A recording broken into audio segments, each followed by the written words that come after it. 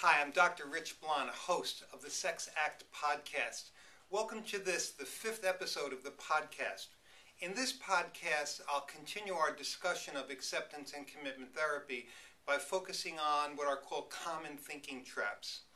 In his book, The Happiness Trap, Dr. Russ Harris describes common thinking traps that people often buy into. Uh, your mind is capable of cranking out an endless stream of unhelpful thoughts that get you hooked or trapped, as Russ would say, on self talk, uh, and a lot of that self talk can really undermine your sexuality.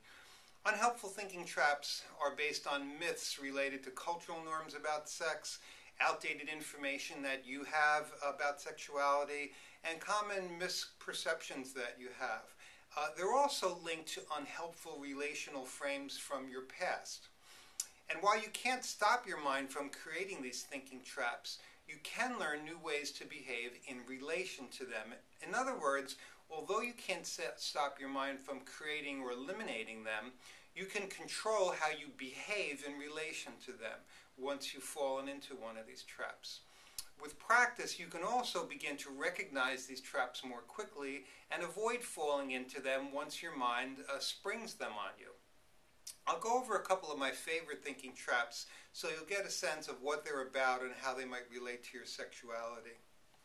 The thoughts are reality trap is one of my favorites, and this trap is based on the myth that your thoughts about something actually represent the objective reality about it. In actuality, your thoughts about something are just that your thoughts about it. Your mind often distorts your thoughts through embellishment, interpretation, or judgment. And whatever you're thinking about at any given moment is actually your version of it or your mind's version of it as it passes through the filter of your brain and all of your brain's accumulated relational frames related to that subject. Nowhere is this more evident than in your thinking about sexual events from the past. Your thoughts about your first sexual experience are a perfect example of this.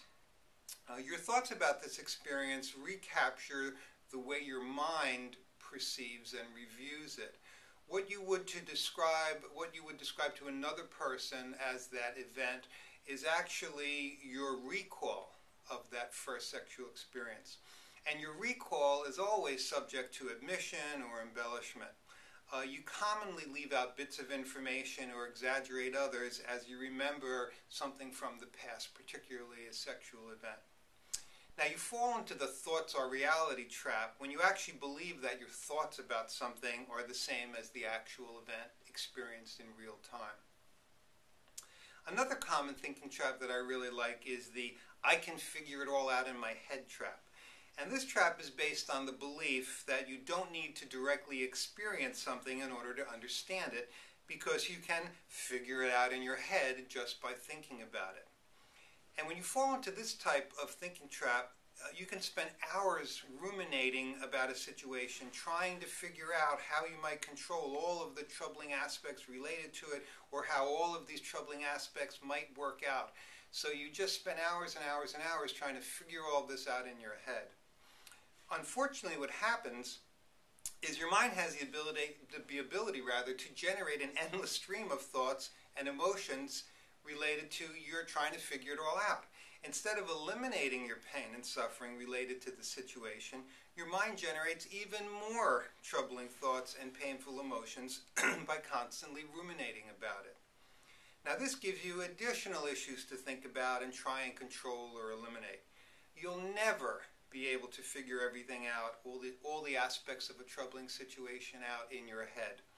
The best way to manage a troubling situation is to accept that you can't figure it out in your head, coexist with that anxiety and that pain, and then take steps to directly experience the situation and not try and figure it out in your head.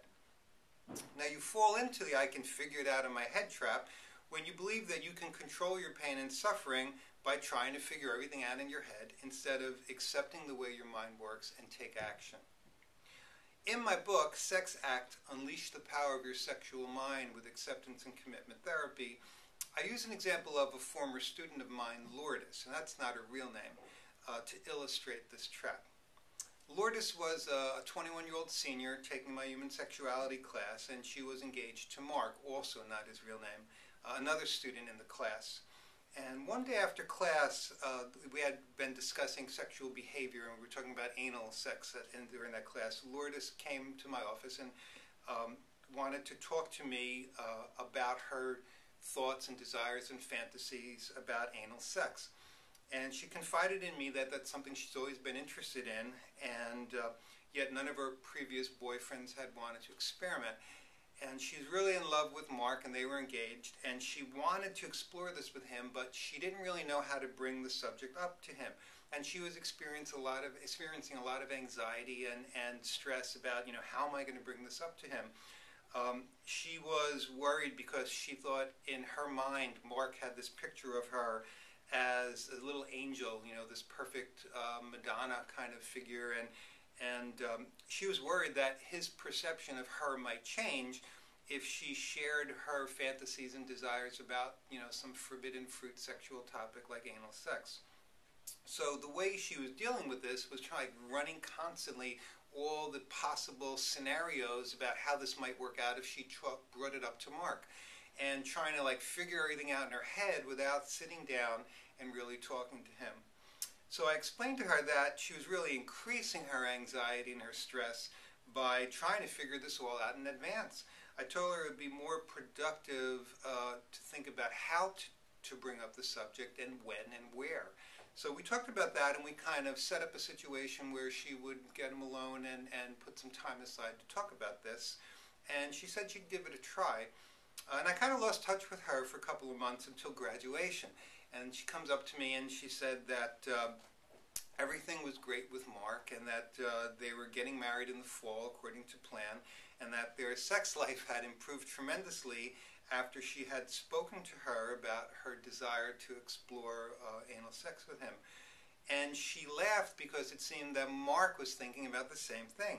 And he had always been curious about it, and uh, he knew that in their foreplay they kind of got around to that area and then, you know, didn't really talk about it. Um, but he had been worried about bringing it up to her because he was worried about how she would perceive him if he brought up the subject. So it turned out that both of them uh, were trying to work all of this out in their heads in advance without actually sitting down and talking to each other and bringing the subject up, you know, directly experiencing what would happen. So it turned out that they, they both uh, were happy with their decision, had incorporated it into their lovemaking activities, and you know things were going really, really good. So uh, it's just an illustration of how you really can't figure everything out and how things will work out just by thinking it through. You've got to really uh, accept that anxiety associated with trying something new, even if it's just talking about something, and then going ahead and, and doing it. So you can read more about this in my book, and I look forward to working with you again next month. Bye bye.